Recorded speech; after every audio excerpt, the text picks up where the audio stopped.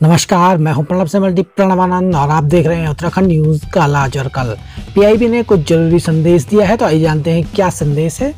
देखिए कि आप सामने वाले व्यक्ति से उचित दूरी पर खड़े हैं।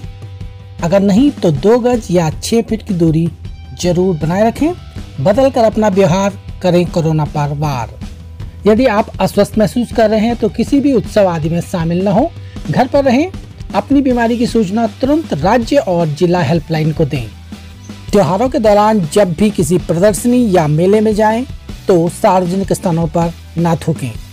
आप मेला, प्रदर्शनी या किसी अन्य सांस्कृतिक कार्यक्रम का आयोजन कर रहे हैं या उसमें शामिल होने की योजना बना रहे हैं तो सुनिश्चित करें कि थर्मल जाँच हो रही है, उचित दूरी बनाए रखें और अपने हाथ स्वच्छ रखें। समारोह में मेहमानों की संख्या पर रखें नियंत्रण, नहीं तो मिल जाएगा कोरोना को निमंत्रण। तो दो गज या छः फीट की दूरी बनाए रखें और मास्क ज़रूर पहने। दो गज की दूरी, मास्क है ज़रूरी।